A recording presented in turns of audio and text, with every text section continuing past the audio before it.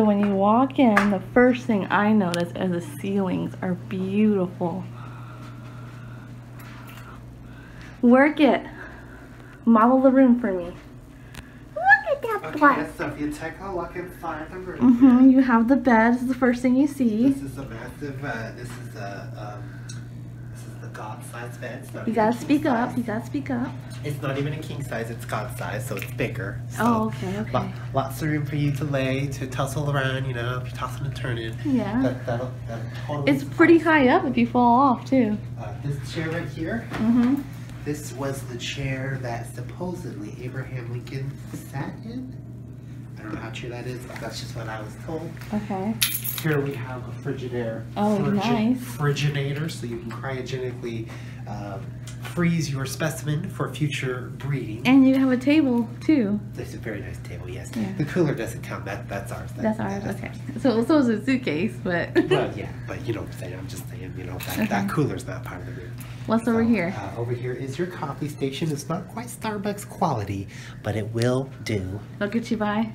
It'll get you by. And we At got least- so lucky. We got the last room in the hallway, so we got three windows. and we got the corner. We have no neighbors, so like, yeah. We have one neighbor. Well, there's a hallway over there. Our neighbor shares bathrooms Ah. probably with us. The bathroom's the best part, y'all, because it's like real. Oh wait, Well, no, wait a second. we got a closet. There's a closet here. There is a safe for all your personal belongings. Uh,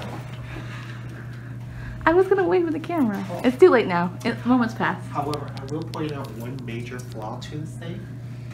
Your code is the same as your room number, so anybody who knows that is going to be able to go into other rooms and just break into the safe anyway. No, that's just to get in, and you you reset it. Oh, Yeah. how do you know? How do you not know? I don't know, because, you know, it's, okay, show us the bathroom. it's locked, so whatever. Okay, that's the closet. Nobody cares about the closet. That's where you keep all your, all your coats and your hoodies and stuff like that. I'm probably not gonna put. Step on in here to the excellent bathroom. Here we Yeah, have, y'all, it's real tile. Can you get over that? Is oh my gosh. and here we have a king's toilet that will flush the mightiest shit you ever, ever let out. This is like a historical hotel. This is mind-blowingly beautiful. Wow, Jesus Christ! Look And, all like- the towels we get. Look how deep these window seals are. Did you see the towels? This is My God. Uh, crazy. I will never use Oh, that many towels. And we have to have wristbands to be allowed here. That's right. And every day they change colors. it's like an amusement park in this bitch.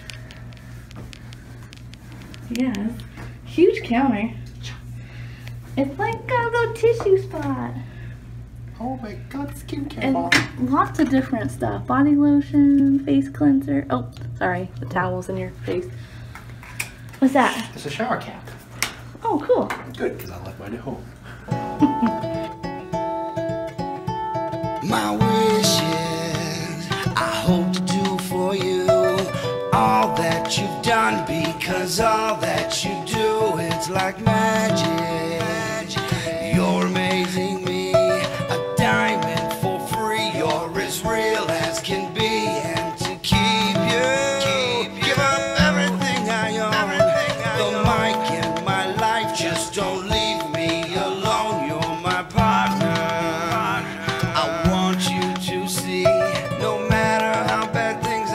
Can be, you've always got me.